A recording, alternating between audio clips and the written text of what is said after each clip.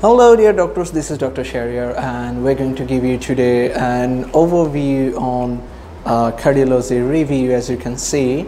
And uh, just on the left hand side is our tetra theory, recall, more concussion. That's how you should study all the time.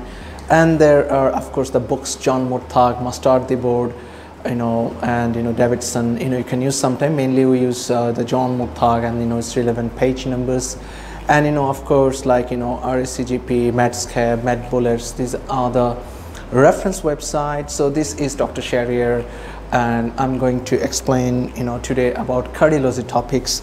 So here you go. Oh hi guys. Like you know how it's going. I hope so everything is uh, going well for all of you. And um, I hope so you can also see the board. So my uh, plan is today to give you outline about cardiology our cardiology classes are based on the two parts. One of the part is based on the ECG, uh, which we have in a separate video, and another thing, the live class on the cardiology theory.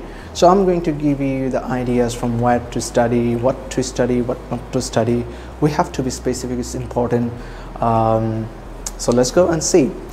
Now, if we talk about the cardiology, as you can see the overview in that case you know we have to use the John Murtagh first of all most important thing for us so in the John Murtagh 13 page numbers I'm going to tell you but before I tell like you know I'm going to tell you there's some important chapters in John Murtagh especially you will see you know that palpitation is one of the things while studying cardiology you will also have palpitation I hope so not. Yeah.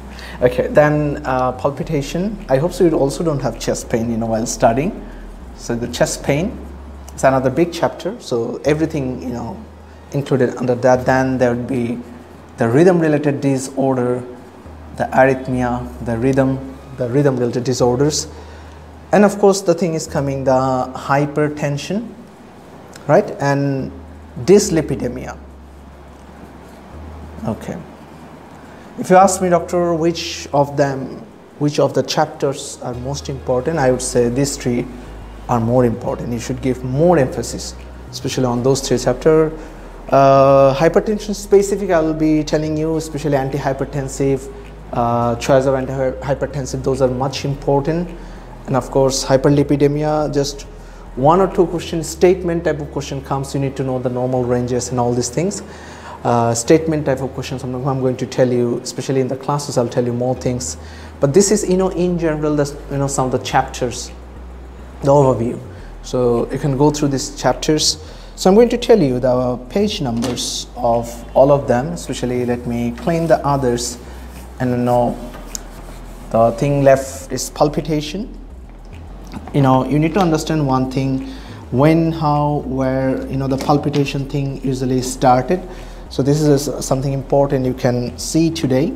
So in the palpitation, basically, if I talk, um, when you see an ECG, like, you know, which started with a palpitation, if we say example like, you know, SVT, VT, ventricular fibrillation, Wolff Parkinson's White syndrome, even, you know, a lot of type of atrial fibrillation, flutter, all, you know, is associated with palpitation. So how, you know, we are going to, you know, differentiate in between them in terms of ECG, in terms of clinical setting, that is our important thing to know actually. So in case of palpitation, if we see this part, uh, we'll be learning certain things. And so I'm going to tell you the page numbers of all those things. And uh, among them, you know, if I just started with one palpitation chapter, let me tell you, palpitation chapter is given in John Murtagh page number uh, 814 for 7th edition. And you know those are using the sixth edition for them telling like you know 803 is the page number for them. So this is you know important thing for the cardiology side. Okay so wonderful. So this is the page numbers of different book. Now let's open a page that's arrhythmia. In seventh edition it's uh, 819 is the page number. So from the arrhythmia if you open that one you know uh, you know you have to study the causes, the ECGs, the types, and also of course the management of all of those things. Of course definitely I will be telling you all those things in the classes, what chart to use, which to use, which one not to use, okay. So, but I'm giving overview now actually before the class. Now, a very important thing that is coming after the arrhythmia. Uh, arrhythmia is present in 819. Now, just the opposite of the arrhythmia or the tachycardia, that's the bradycardia. Sinus bradycardia things are given in 821 page number. Just to tell you guys, we use the John Murtagh 7th edition in the classes, but we try to also tell you the John Murtagh 6th edition page numbers. All right, now old Parkinson's White syndrome, that's also given in uh, 8323. 823. Uh, SVT is also given nearby. Supraventricular tachycardia also given in the similar pages. Now, ventricular tachycardia is again given in the immediate next page, 824. Torsades de Pointes is given, is a very important thing. Uh, I would suggest to see that one from the Davidson, the Torsades de Pointes is a French word. Okay, so Torsades de Pointes is given in 824, but I like the Davidson one more. Um, now coming is atrial, you know, that fibrillation. Atrial fibrillation things are given in 824 the page number. Atrial flutter is given in the same page. Okay so these are some of the informations we have. And after that like you know there's a big summary chart is given in 826 whatever the thing you learn is given in that box. So i want you to use small you know keynotes side notes all these things which i'll tell you in the classes so in that chart 826 you're going to see a lot of things including SVT, VT, heart block a lot of other things. Heart block I'll teach you in the class separately. Only uh, studying John Murtagh is not enough. I like the you know box because you know his one thing is very given very nicely is thus the what is the drug that is you know you should use first line what is the drug that you should use as a second line. So this is a nice thing is given in this box. All right? From the heart block side. Okay so these are some of the party palpitation related topic we just see. You know this is a whole chapter actually in John Murtagh. So palpitation and the heart block these are the things. So if you just you know use the board in the palpitation what you have to see learn SVT VT ventricular fibrillation uh, Wolff Parkinson's White syndrome um, bradycardia bradycardia atrial fibrillation atrial flutter so all this thing you need to learn from the palpitation chapter, including the ECG, including the features, including the managements. All right, so where's my duster? Yes, yes, okay. So after that, you know, there was a chapter that's related to, you know, your chest pain. And after, you know, this one, we will start in our class the chest pain. I have said not feeling chest pain right now, hearing that. So MI is one of the like you know very hot topic myocardial infarction related things. So MI, let me tell you, it's given uh, in 13 pages. I'm going to tell you the page numbers.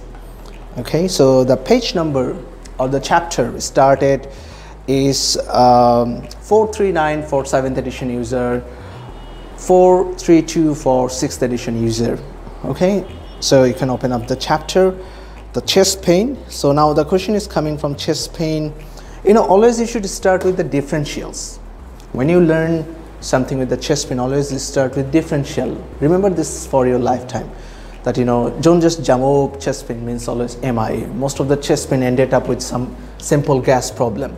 So you know, the, always start with the DD. Always remember near to heart there's another thing pericardium. So pericarditis you should remember this also started.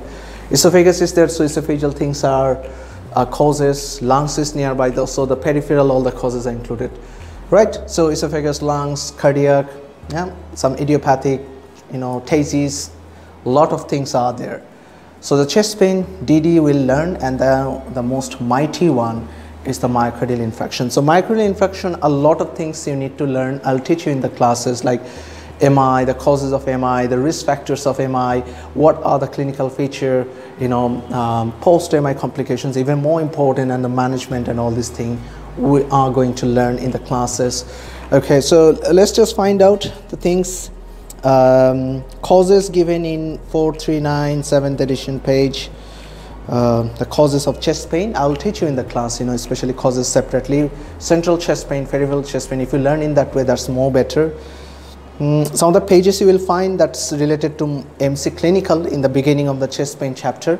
You know how to take the history, how to you know those pages are related to um, clinical mostly, but no harm in reading all these things, right? So medical ischemia officially it started in John Murtagh 443. That's the thing.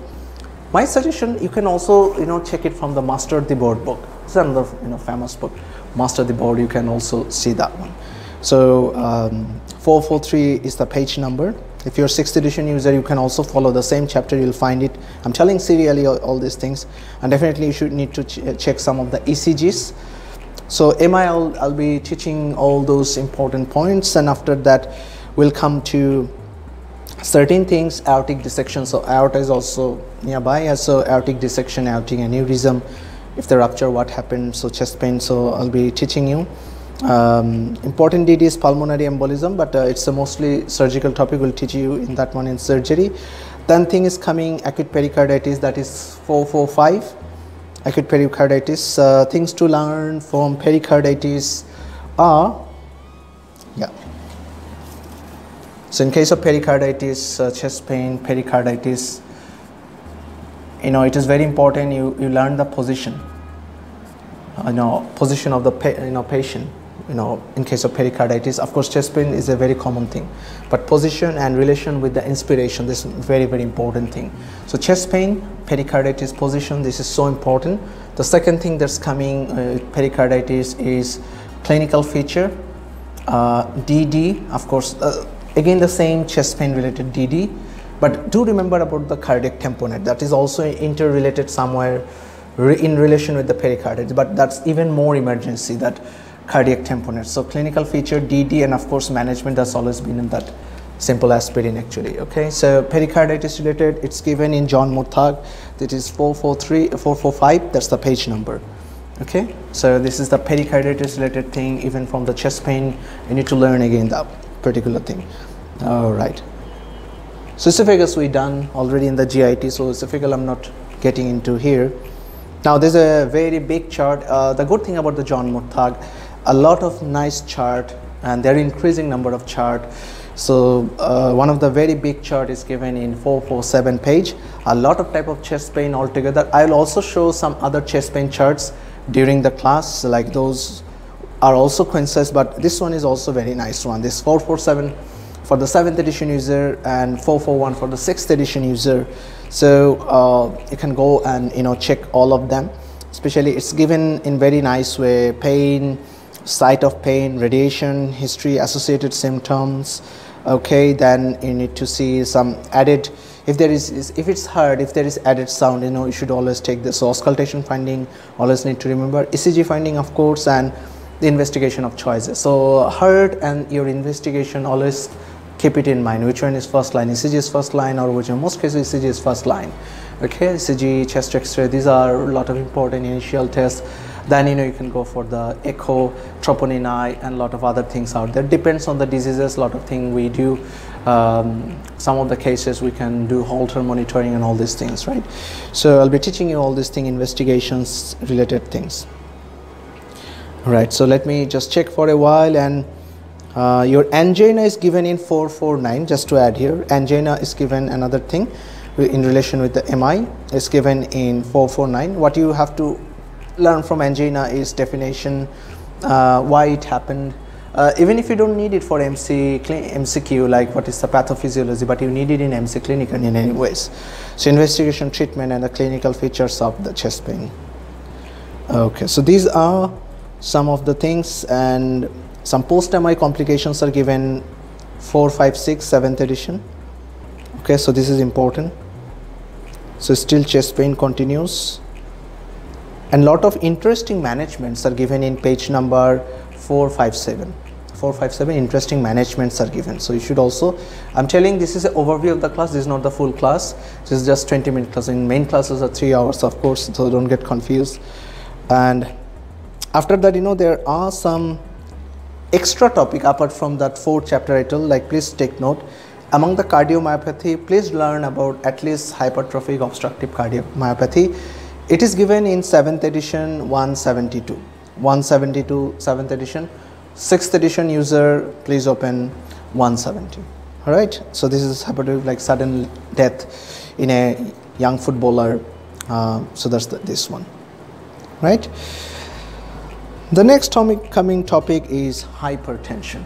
Okay let's me write this one. Let's remove this chapter. Chest pain. I'll tell more things in main class. Don't worry at all guys. So hypertension.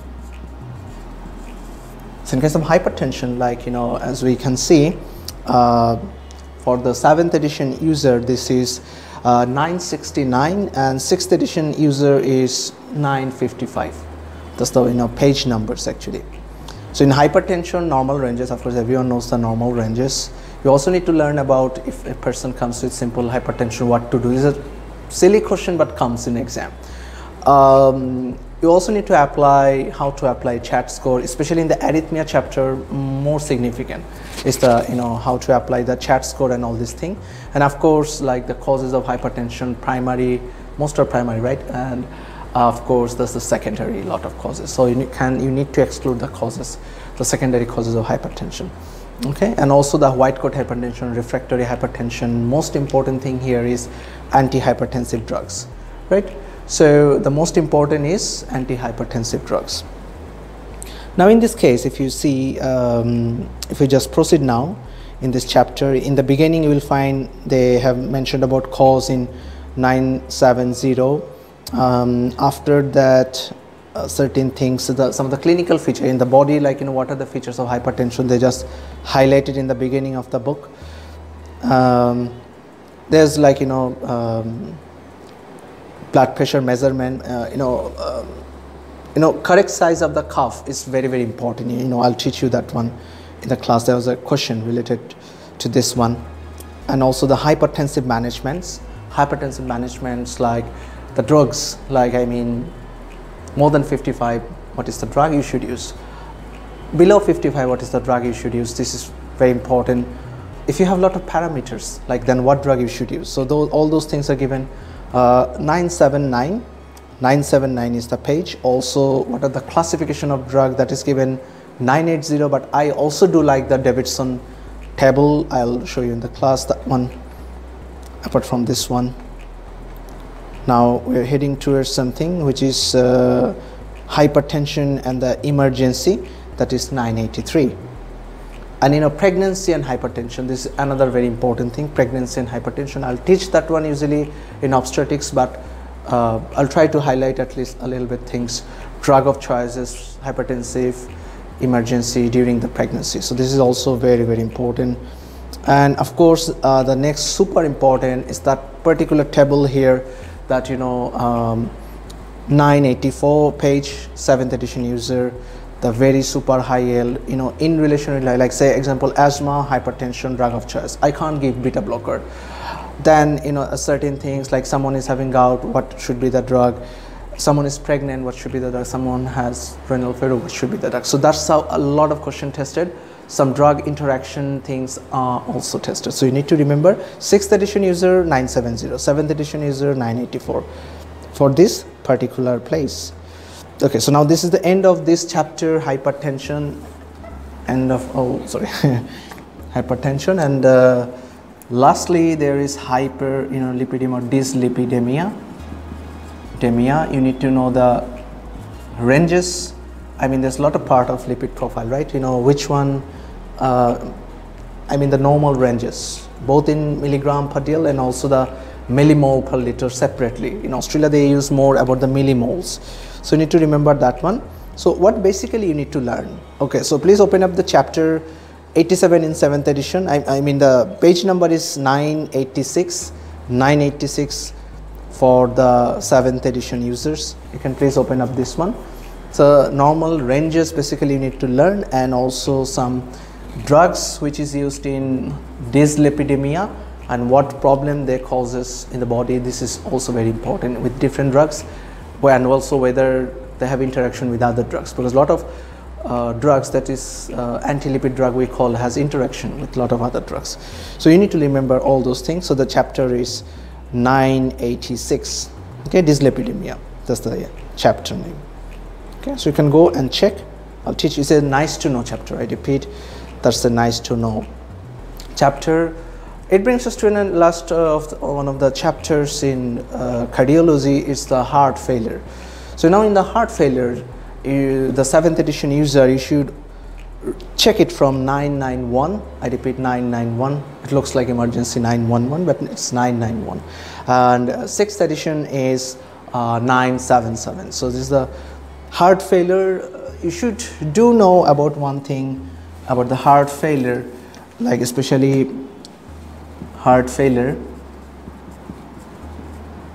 especially you know those are differentiated acute and chronic so while you model the drug you should also know is acute symptom present or not present? If the patient is presenting in emergency setting or whether it's a stable patient. Many people has a thinking oh beta blocker can't use in heart failure. It's always not. A beta blocker also used in heart failure but in a stable patient. You know we don't give that one in emergency setting most cases actually. After settling down then you can use that one.